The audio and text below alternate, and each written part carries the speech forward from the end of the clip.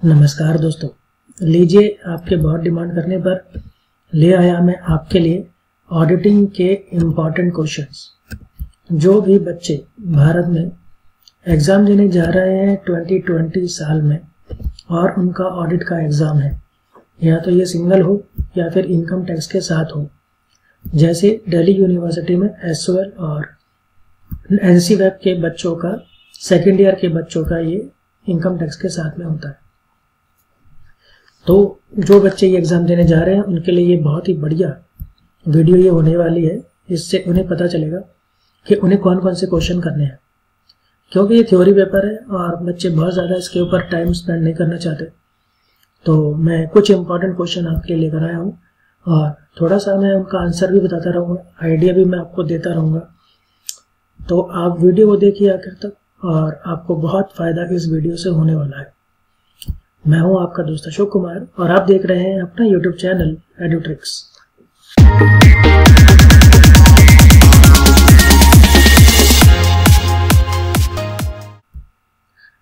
सबसे पहले देखते हैं चैप्टर वन ऑडिटिंग का। इसके अंदर हमारे पास स्टेटमेंट आती है, बहुत ही इंपॉर्टेंट है, बहुत बार रिपीट होती है। An auditor is a watchdog not bloodhound जो ऑडिटर है, वो देखने वाला कुत्ता है। वॉच डॉग है। वॉच डॉग है जो गेट पे खड़ा रहता है। वो एक्चुअली करता कुछ नहीं है। बस भोगता रहेगा। काटता नहीं है। शिकारी कुत्ता नहीं है। ब्लड हाउंड तो वो शिकारी कुत्ता नहीं है, बस ऐसे ही देखने वाला कुत्ता है। ऐसा इसलिए कहा जाता है क्योंकि जो ऑडिटर होता है, उसके पास कोई पावर नहीं होती। पहले यही बता देता हूँ कि ऑडिटर क्या होता है। या ऑडिटिंग का मतलब क्या होता है? जो भी कंपनी ने अकाउंट्स मेंटेन किए हैं, उन अकाउंट्स को चेक करना वेरीफाई करना ऑडिटिंग कहलाता है। और जो ये काम करता है, उसको ऑडिटर बोलते हैं। तो ऑडिटर जो है, वो सिर्फ़ चेक कर सकता है और बोर्ड ऑफ़ डायरेक्टर्स को और सेंट्रल गवर्नमेंट को बता सकता है कि भाई ये कंपनी ठीक से काम कर रही है या फिर नहीं कर रही है या फिर यहाँ पर फला फला गड़बड़ है। उसके पास खुद कोई पावर नहीं होती कि वो किसी के अगेंस्ट कोई एक्शन ले सके। इसलिए ये स्टेटमेंट बोली जाती है। फिर एक दूसरी स्टेटमेंट आती है accounting is a necessity to business but auditing is luxury इसमें आपको ये बताना है कि जो अकाउंटिंग है, भाई वो तो नेसेसरी है, वो तो आवश्यक, सभी के लिए आवश्यक है। चाहे छोटा बिज़नेस हो, चाहे बड़ा बिज़नेस हो, हर किसी को अपने अकाउंट्स मेंटेन रखने होंगे। और आपने देखा होगा कि छोटा से छोटा दुकानदार भी चाहे किसी भी फॉर्म में रखे, लेकिन वो अपने अकाउंट्स मेंटेन करता है, लिखा पढ़ी, रोज की करता रहता है। तो अगर प्रॉफिट लॉस वगैरह जानना है, और अगर दुकान को साइड करे, अगर छोटा सा बिज़नेस भी है तो उसको भी देखिए, अपने रिटर्न वगैरह फ़ाइल करनी है तो उसके लिए भी उसको अकाउंट्स अपने मेंटेन करने पड़ेंगे। तो अकाउंट तो सभी के लिए मेंटेन करना ज़रूरी है, आवश्यक है। लेकिन जो ऑडिटिंग है वो सभी को नहीं करानी होती है। एक पर्टिकुलर क्राइटेरिया है। अगर वो क्राइटेरिया क्रॉस होता है, ये output wise turnover wise net profit wise इस तरह का एक क्राइटेरिया है। अगर वो क्राइटेरिया क्रॉस होता है, तभी कंपनी को ऑडिटिंग करानी होती है, नहीं तो नहीं करानी होती है। अब क्योंकि यहाँ पे वर्ड यूज़ हुआ है लग्जरी तो मैं शॉर्ट फॉर्म में बता देता हूँ कि जो बहुत बड़ी बड़ी कंपनीज़ होती हैं, सिर्फ़ उन्हीं को ही ऑडिट कराना। होता है। क्राइटेरिया आप इसका देख सकते हैं चेक कर सकते हैं नेट पर आराम से मिल जाएगा। फिर तीसरी स्टेटमेंट आती है detection and prevention of errors and fraud is the main objective of auditing इस क्वेश्चन में ना आपको ऑडिटिंग के सारे ऑब्जेक्टिव्स बताने हैं। तो मेन बात इसमें क्या है कि ऑडिटिंग का सबसे पहला उद्देश्य यही होता है कि वो डिटेक्ट करेगा, ढूंढेगा और प्रिवेंट करेगा, बचाएगा किससे एरर्स एंड फ्रॉड्स गलती और धोखेबाजी। तो बस यही इसका मेन ऑब्जेक्टिव है कि ऑडिटिंग जो है, अंकेक्षण जो है, वो ढूंढता है और बचाता है गलतियाँ और धोखेबाजी। अब देखते हैं चैप्टर टू ऑडिट कितने तरह के हैं, ये भी पेपर में बहुत ज़्यादा आता है। तो पहला डिफरेंस है आपका यहाँ पर मेन कॉन्टिन्यूस ऑडिट और एनुअल या फाइनल या पीरियोडिक ऑडिट कॉन्टिन्यूस ऑडिट का मतलब होता है कि जो पूरे साल चलता रहता है। हर एक पर्टिकुलर इंटरवल के बाद, जैसे एक महीने बाद, दो महीने बाद, तीन महीने बाद, ये पूरे साल चलता रहेगा। ये होता है आपका कॉन्टिन्यूस ऑडिट और जो एनुअल या फाइनल या पीरियोडिक ऑडिट होता है, ये जब आपके सारे फाइनल अकाउंट्स बन जाते हैं, फिर उसके बाद ये शुरू होता है, यानी कि एंड होने पर। और फिर तब तक चलता रहेगा जब तक उसका कंक्लूजन नहीं निकल जाता। दूसरा आपका इंपॉर्टेंट आता है स्टैट्यूटरी ऑडिट और इंटरनल ऑडिट स्टैट्यूटरी ऑडिट में जो ऑडिटर है, वो बाहर से आता है। कंपलसरी है ये कुछ कंपनीज़ के लिए ऑडिट कराना। तो ये बिल्कुल कंपलसरीली लॉ को फॉलो करते हुए ये करा जाता है। ये इसीलिए इसको स्टैट्यूटरी कहा जाता है। क्योंकि ये संवैधानिक है, क्योंकि ये कराना ही पड़ेगा, कानून, कानूनी प्रक्रिया को पूरा करते हुए। फिर इंटरनल ऑडिट आता है। इंटरनल ऑडिट जैसे कि इसका नाम है इंटरनल ऑडिट कराने के लिए कंपनी ना, अपनी कंपनी के अंदर ही जैसे एक डिपार्टमेंट बना दिया, एक अपना डिपार्टमेंट अपने कंपनी के अंदर ही इन्होंने एक पर्टिकुलर सेक्टर बना दिया, और उसका काम है इंटरनल ऑडिट करते रहना। अब दोनों के ऑडिटिंग में ना फ़र्क होता है। इंटरनल ऑडिट जो है, वो सिर्फ़ अपने जो अंदर बिज़नेस की जो प्रोसेस है, जो वर्किंग है, वो सिर्फ़ उसी को ही ऑडिट कर सकता है, उसी को ही चेक कर सकता है। इससे ज़्यादा और नहीं। लेकिन जो स्टैटूटरी ऑडिट है तो वो फाइनल अकाउंट्स की ऑडिटिंग करता है। वो मेन सभी की ऑडिट ऑडिटिंग करता है। फिर आता है हमारे पास ऑडिट प्रोसेस इसके अंदर डायरेक्ट क्वेश्चन क्या आता है? इंटरनल चेक बताओ, इसकी प्रक्रिया प्रोसीजर बताइए, इसके फीचर्स बताइए, और एक अच्छा इंटरनल चेक सिस्टम कैसा होना चाहिए, ये बताइए। इंटरनल चेक का मतलब ये होता है कि काम करने का ऐसा तरीका हो कि काम भी होता रहे और एक दूसरे का क्रॉस चेकिंग भी होती रहे। जैसे पाँच छह लोग मिलकर काम कर रहे हैं तो उसमें काम करने का तरीका ये होगा कि एक का किया हुआ काम दूसरे के द्वारा ऑटोमेटिकली चेक होता रहेगा। फिर इंटरनल चेक और क्या है और suitable internal check system wage payment कौन सा होता है, ये बताना है आपको। फिर इंटरनल कंट्रोल और इंटरनल चेक और इंटरनल ऑडिट इन तीनों में डिफरेंस क्या है, ये इंपॉर्टेंट है, ये आपको पढ़ना चाहिए ठीक से। और इंटरनल ऑडिट का पर्पज क्या है। देखिए, जो जो कुछ थोड़ा बहुत आपको आइडिया देना पॉसिबल है, वो मैं सब जगह आइडिया दूँगा, लेकिन जहाँ पर आपको ठीक से पूरा पढ़ना चाहिए तो वो आपको पढ़ना ही होगा। फिर एरर कितने तरह के होते हैं? फिर ऑडिट रिपोर्ट कितने तरह की होती है? और शॉर्ट नोट्स हैं कुछ क्वालिफाइड रिपोर्ट है। ऑडिट वर्किंग पेपर्स है। ऑडिट एविडेंस है। ऑडिट प्रोग्राम है। तो ये तीसरा जो हमारा चैप्टर है, ये बेहद इंपॉर्टेंट है क्योंकि यहाँ से मैक्सिमम क्वेश्चन आते हैं। तो इसलिए अगर आप इसे बहुत अच्छे से पढ़ेंगे तो आपका जो ऑडिटिंग वाला सेक्टर है, वो बहुत अच्छा कवर हो जाएगा। फिर आता है जी चैप्टर फोर वाउचिंग अब वाउचिंग के से पहले आप पहले ये समझिए कि वाउचर क्या होता है। इलेवेंथ क्लास में भी पढ़ लेते हैं हम लोग वाउचर वाउचर जो होता है वो कोई भी एक डॉक्यूमेंटिव प्रूफ होता है।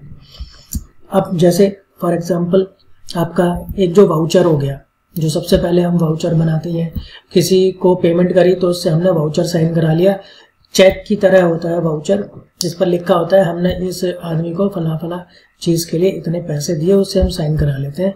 एक स्लिप होती है तो वाउचर तो एक तो खुद ही हो गया। फिर आपका चेक हो गया, कोई टैक्स बिल हो गया, कोई इनवाइस हो गया, कोई डेबिट नोट क्रेडिट नोट कोई किसी भी तरह का डॉक्यूमेंटिव प्रूफ जो होता है बिल्स पेबल हो गए बिल्स रिसीवेबल हो गए तो ये बहुत बड़ी लिस्ट है तो इस तरह से कोई भी डॉक्यूमेंटिव प्रूफ है तो उसको हम वाउचर बोलते हैं। अब वाउचिंग क्या होती है? वाउचिंग का मतलब होता है, जितने भी ये सब मैंने अभी आपको डॉक्यूमेंट्स बताए, इन सबको चेक करना ही वाउचिंग कहलाता है। तो ये हो गया आपका वाउचिंग तो मतलब यहाँ पर हम यही चेक करते हैं कि जो कुछ भी पेमेंट्स बता रखी है जैसे पी एंडल हो गया। पी एंडल में देखिए बहुत सारे खर्चे होते हैं। तो जितने भी वो खर्चे हैं तो उन सब खर्चों के पीछे बिल्स अवेलेबल यानी सबूत है या नहीं? उन खर्चों के पीछे के सबूत, यानी कि बिल या कोई भी डॉक्यूमेंटेड प्रूफ या कोई वाउचर या कोई पेमेंट स्लिप कुछ ना कुछ होना चाहिए तो वो है या फिर नहीं है? सही है या गलत है? तो वो चेक करना वाउचिंग कहलाता है। तो स्टेटमेंट आती है vouching is the backbone of the auditing अब भाई, अगर ऑडिटिंग करनी है ऑडिटिंग करनी है तो मतलब अब यही तो चेक करेंगे ना कि जैसे पी एंडल के अंदर भाई सारे खर्चे बता रखे हैं। अब कंपनी क्या करती है? प्रॉफिट कम करने के लिए खर्चे बढ़ा देती है। तो जो खर्चे दिखा रखे हैं तो वो खर्चे सही भी है या नहीं है? अब उन खर्चों आप कैसे चेक करोगे?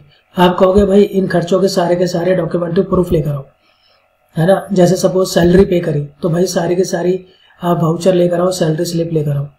तो सैलरी स्लिप क्या है? सारे के सारे वाउचर है। अब वो देखेंगे कि भाई उनकी सैलरी है या नहीं। आप कहते हो जी, चाय का पचास हज़ार रुपये का खर्चा लिखा हुआ है साल का। भाई दिखाओ, चाय वाले को पेमेंट करी होगी, उससे वाउचर साइन कराया होगा। तो दिखाओ आप, पचास हज़ार रुपये की कौन सी चाय पी ली आपने? तो इस तरीके से बोला जाता है कि भाई, जो अगर ये हम सब वाउचर चेक कर लेते हैं कि डॉक्यूमेंट्री प्रूफ सारे हैं या नहीं तो यही तो रीढ़ की हड्डी है, यही तो बेसिक है ऑडिटिंग का।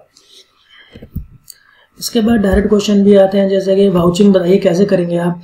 कैश सेल की रिसिट्स और डेटर्स की कैश परचेज की payment to creditors payment to wages purchase of land and building तो इन चीज़ों सब की आप किस तरह से वाउचिंग करेंगे? ये पेपर में बहुत आता है कि आपको इसमें से दो तीन आइटम वो दे देता है और कहता है, बताइए आप इनकी वाउचिंग किस प्रकार से करेंगे? और इसमें से अगर आप दो तीन आइटम पढ़ भी लेते हैं ना तो आप एकदम से समझ जाएँगे कि इनमें लिखना क्या होता है। मेन बात इनमें यही रहेगी कि आपको इन ट्रांजेक्शन से रिलेटेड जितने भी सपोर्टिव डॉक्यूमेंट्स हैं डॉक्यूमेंट्री प्रूफ्स हैं, उन सबको चेक करने की बात ही होती है और कुछ नहीं होता। फिर आता जी हमारे पास वेरिफिकेशन अब ये वाउचिंग और वेरिफिकेशन दोनों एक जैसे लगते हैं। तो इसलिए सबसे पहला क्वेश्चन जो आता है वो यही आता है कि वाउचिंग और वेरिफिकेशन में डिफरेंस क्या है। जो मेन मेन मोटा मोटा डिफरेंस है वो ये है कि दोनों का मतलब तो एक ही चीज़ होता है चेक करना वेरीफाई करना। लेकिन वाउचिंग में हम चेक करते हैं डॉक्यूमेंट्री प्रूफ पी एंडल वाली आइटम्स के।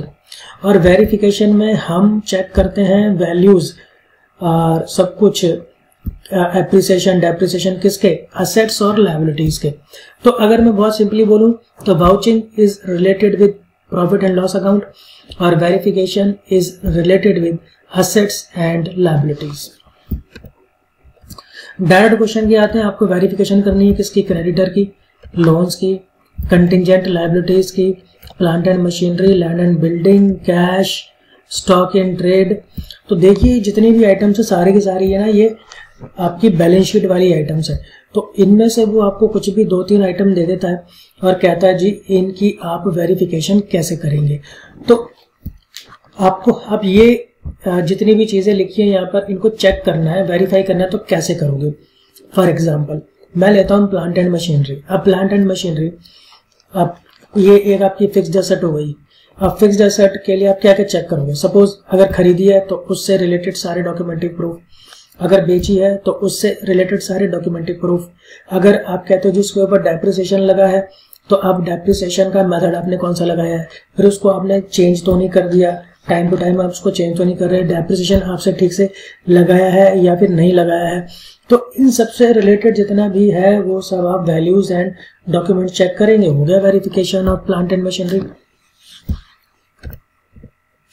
इसके बाद आता है जी audit of joint stock companies ये भी बहुत इंपॉर्टेंट है और जब तक आप ऑडिटिंग पढ़ेंगे या फिर आप कंपनी लॉ पढ़ेंगे, ये तो आपका पीछा छोड़ने वाला है ही नहीं। किसी भी ऑडिटर की क्वालिफिकेशंस क्या होती है और डिसक्वालिफिकेशंस क्या होती है? क्वालिफिकेशन देखिए, मैं शॉर्टकट में बता देता हूँ, थोड़ा सा ऑडिटर की कोई खास क्वालिफिकेशन नहीं होती। बच्चे सोचते हैं कि हम कोई अगर एक पर्टिकुलर कोर्स कर लेंगे या डिग्री ले लेंगे तो हम ऑडिटर बन जाएँगे। ऑडिटर की कोई खास स्पेशल डिग्री या कोर्स नहीं होता है। ये जो भी ऑडिटर होते हैं, ये अपनी फ़ील्ड के एक्सपर्ट होते हैं, जैसे चार्टर्ड अकाउंटेंट होते हैं या कंपनी सेक्रेटरीज होते हैं या कॉस्ट एंड मैनेजमेंट अकाउंटेंट होते हैं। तो अगर ये ऑडिटिंग कर सकते हैं तो ये ऑडिटिंग करते हैं। और इसके लिए इनके पास बस जो मैंने क्वालिफिकेशन बोली, वो होनी चाहिए। एक्सपीरियंस होना चाहिए और इनके पास एक्सपर्टिज्म होना चाहिए तो ये कर सकते हैं। डिसक्वालिफिकेशन इसकी बड़ी सिंपल रहती है। जैसे बोर्ड ऑफ़ डायरेक्टर चाहे तो रेजोल्यूशन पास करके इन्हें निकाल सकते हैं। या बाई कोर्ट भी बाई लॉ भी इनको निकाला जा सकता है। अगर ये पागल हो गया, अगर ये इंसॉल्वेंट हो गया अगर इसने कोई चीटिंग करी, अगर ये अपना काम ठीक से नहीं कर रहा है, अगर इस, ये, इसके अगेंस्ट कोई केस वेस हो गया है तो इस तरीके से इन सारे केसेस में ये डिस्कालीफाई हो जाएगा, ये ऑडिटिंग नहीं कर पाएगा। फिर राइट्स एंड ड्यूटीज़ क्या होती है ऑडिटर की? ये भी आप पढ़ेंगे तो बहुत सिंपल सा क्वेश्चन है, भाई अपना काम ठीक से करें और अपनी जो लिमिट्स हैं वो भी क्रॉस ना करें और इसका काम है गलतियों को चीटिंग को ढूंढना। तो ये ऐसा ना हो कि कंपनी के साथ ही मिल जाए और उनके साथ ही बोले कि भाई, कोई बात नहीं, तुम जो मर्ज़ी करो, मैं सब देख लूँगा। तो इस तरह से बड़ा आसान सा ये वाला टॉपिक बनता है, आप चाहें तो आराम से देख सकते हैं। किस तरीके से ऑडिटर को हटाया जा सकता है रेजोल्यूशन पास करके उसको हटा सकते हैं। जैसे मैंने बताया, अभी कोर्ट लॉ के द्वारा भी उसको हटाया जा सकता है। तो इस तरह के ये कुछ नियम है, ये भी आप पढ़ेंगे तो ये भी आपको आसानी से याद हो जाएँगे। तो दोस्तों, ये थी एक वीडियो जो आपको थोड़ा हेल्प करेगी। थोड़ा क्या, मैं तो कहता हूँ, आपको बहुत ज़्यादा हेल्प करेगी। आप बस यही क्वेश्चन कर लीजिए, आपकी ऑडिटिंग का काम हो जाएगा।